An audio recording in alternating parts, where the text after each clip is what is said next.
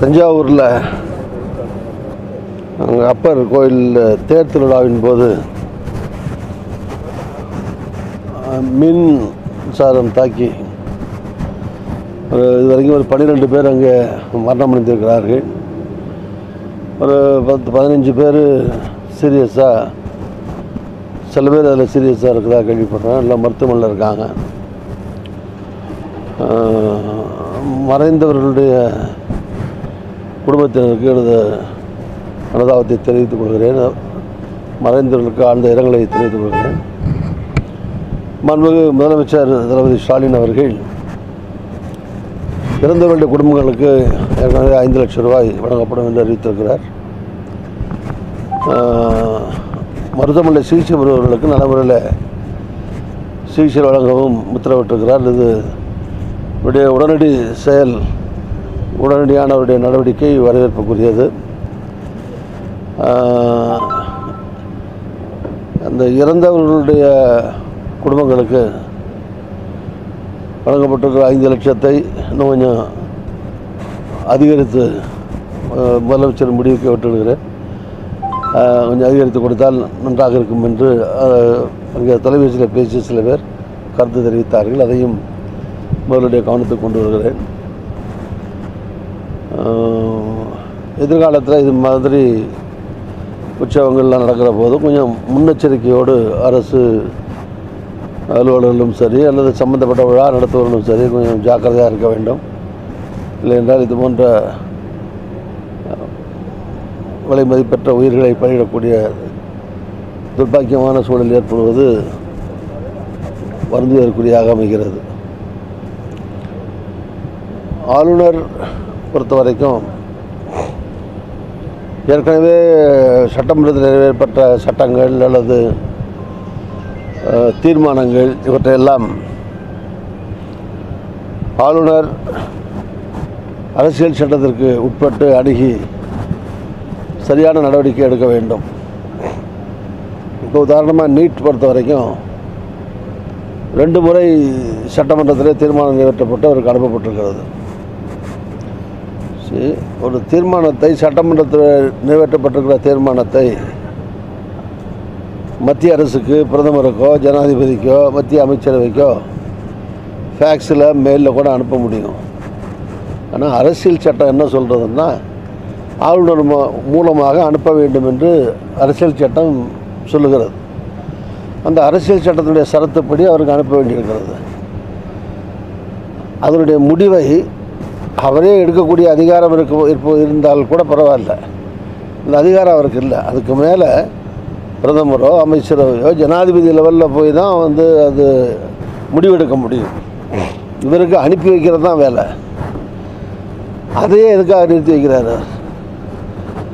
அதை நிறுத்தி வச்சு நீட்டு வேண்டான்னு சொல்கிற அதிகாரம் ஆளுநர் கிடையாது. மக்களால் தேர்ந்தெடுக்கப்பட்ட பெரும்பான்மையான சட்டமன்ற உறுப்பினரால் தேர்ந்தெடுக்கப்பட்ட ஒரு மக்கள் அரசு தந்திருக்கப்பட்ட அரசு அதனுடைய முதலமைச்சர் அமைச்சரவை கூடி ஒரு முடிவெடுத்து அந்த தீர்மானம் ஏகோபித்து நிறைவேற்றப்பட்டு அனுப்பி வைக்கப்பட்ட பிறகு அது போன்ற தீர்மானங்களை கூட அனுப்பாமல் வைத்துக்கொள்வது என்பது அரசியல் சட்டத்துக்கு உட்பட்டு அவர் செயல்படவில்லை என்பதை தான் காட்டுகிறது. அதனால தான் அவருக்கு கண்டனங்களோ அல்லது எதிர்ப்போ வருகிறது. அதான் பிரச்சனை.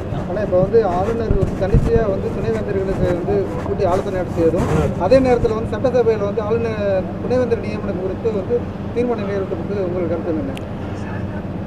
சரி எந்த வினையாக இருந்தாலும் அதுக்கு ஒரு ஒரு ஆக்ஷன் இருந்தால் அதுக்கான ரியாக்ஷன் இருக்க தான் செய்யும். அவர் ஆளுநருங்கிற முறையில் கல்வி அமைச்சருக்கு தெரியாமல் அரசாங்கத்துக்கு தெரியாமல் கல்வித்துறை செயலாளருக்கு தெரியாமல் அரசு அதிகார அலுவலருக்கு தெரியாமல் அவராக கூட்டி அது போட வேண்டிய அவசியம் என்ன இருக்குது அரசாங்கம் தேர்ந்தெடுக்கப்பட்ட மக்கள் அரசாங்கம் இருக்கு இல்லையா? அதில் இந்த மாநாட்டுக்கு வைஸ் சான்சலர் மாநாட்டுக்கு கல்வி அமைச்சருக்கு அறிவிச்ச சொல்லியிருக்கலாம் அழைச்சிருக்கலாம். அவர் வர முடியலைன்னா செக்ரட்டரி கூப்பிட்ருக்கலாம் எஜுகேஷன் செக்ரட்டரி கூப்பிட்ருக்கணும் அந்த மாதிரி யாராவது அரசு பிரதிநிதிகள் இல்லாமல் அவர் மட்டும் முடிவெடுத்து அவராக என்ன பண்ணுவார்? ஸோ அதில் நிறைவேற்றப்படுகிற ரெசல்யூஷன்ஸோ ஒரு தீர்மானமோ முடிவோ அல்டிமேட்டாக அரசாங்கம் தானே அதை இம்ப்ளிமெண்ட் பண்ணணும் நடைமுறைப்படுத்தணும். ஆளுநர் அலுவலகத்திலே அவரே கூட்டி பேசி அவரே முடிவு பண்ணி அவரே நடைமுறைப்படுத்த முடியுமா? தேர்ந்தெடுக்கப்பட்ட ஒரு அரசாங்கம் இருக்கும்போது ஆளுநர் ஆட்சி நடக்குது? எனவே அப்படி செயல்படுற காரணத்தினாலே தான் இது வரைக்கும் திமுக முன்னாலேயும் திமுக இருந்திருக்கு இப்போ முதல் தடவையாக திமுக வந்திருக்கு. ஆளுநர் முதல் தடவையாக நீக்கப்பட்டிருக்கிறாரு. இந்த காலகாலமாக நடக்க நடக்கிறது தான் ஆனால் இவர் முரண்பாடாக நடக்கிற காரணத்தினாலே அப்போ அதுக்கு மாற்று என்ன மாற்று ஆளுநர் தேர்தலில் கவர்னருக்கு போகாமல் முதலமைச்சர் லெவலில் அரசாங்கமே முடிவு செய்யலான்னு எடுக்க வேண்டிய சூழ்நிலை. ஆளுநருடைய செயல்பாட்டால் வருகிறது. ஆளுநர் இப்படி செய்யப்பட்டதுனால அரசாங்கம் அதற்கு மாற்று வழியை கண்டுபிடிக்கிறதுக்காக இன்னொரு சட்டத்தை நிறைவேற்றி இந்த பிரச்சனைகளுக்கு தீர்வு காண வேண்டிய சூழ்நிலை ஏற்படுகிறது. அவ்வளோதான் தொடர்ந்து வலதுசாரி இயக்கங்கள் வந்து முதல்வர் வந்து கவர்னர் கட்டுப்பட்டவங்க மாதிரி பிரச்சாரத்தை மேற்கொண்டு இருக்காங்க எல்லாமே வலதுசாரி இயக்கங்கள் பூரா. இல்லை வலதுசாரின்னா எந்த இயக்கம் சொல்கிறாங்க பிஜேபி சொல்லுவாங்க. நம்ம பிஜேபி தவிர வேற எந்த கட்சியும் ஆளுநருக்கு பண்ணிட்டு இருக்காங்களே முதல்வர் வந்து கட்டுப்பட்டவர் அப்படிங்கிற மாதிரி. சரி அவங்க சரி ஆளுநர் வந்து மத்திய அரசால் நியமிக்கப்பட்டவர். மத்திய அரசு பிஜேபி ஆட்சியில் இருக்கிறது. அதனால் அவங்க ஏதோ தங்களுடைய கவர்னர் நினச்சிக்கிட்டு கவர்னருக்கு ஆதரவாக பேசி கொண்டிருக்கிறார்கள். அது அப்படி பார்க்கக்கூடாது. ஆளுநர் மத்தியில் எந்த அரசாங்கம் இருக்குங்கிறத காட்டிலும் யார் யாரால் நியமிக்கப்பட்டவங்கிறத காட்டிலும் வர்றவர் நியமிக்கப்பட்டவர் அரசியல் சட்டத்துக்கு உட்பட்டு செயல்படுகிறாராங்கிறது தான் பிரச்சனை. அப்படி அப்படி செயல்பட்டால் அதில் பிரச்சனை இருக்காது. செயல்படாத போது அதுக்கு இது மாதிரி எதிர் பிரச்சனைகள் எதிர் விளைவுகள் ஏற்படுகின்றன.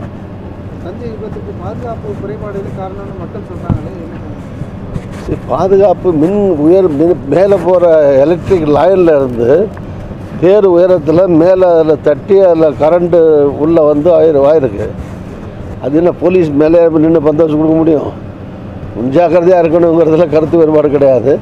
எல்லாத்தையுமே அதிகாரிகளை குற்றம் சொல்ல முடியுமா? மேலே போகிற லைனில் கரண்ட் ஷாக் அடித்ததுக்கு தேரில் ஒட்டி தேரில் இருந்தவங்க அதுக்கு பக்கத்தில் நின்றவங்க தொட்டுக்கிட்டு இருந்தவங்க அந்த ஷாக்கில் வந்து தூக்கி எறியப்பட்டு காயமுட்டுருக்கிறது இந்த மாதிரி விஷயங்கள் தவிர்க்கப்பட வேண்டும் ஜாக்கிரதையாக இருக்கணுங்கிறத ஒத்துக்கிறேன். ஆனால் அதுக்காக எலக்ட்ரிசிட்டி போட்டிருக்கிற ஆஃபீஸரையும் அங்கே இருக்கிற போலீஸ்காரங்களையும் குறை சொல்ல முடியுமா அதுக்கு?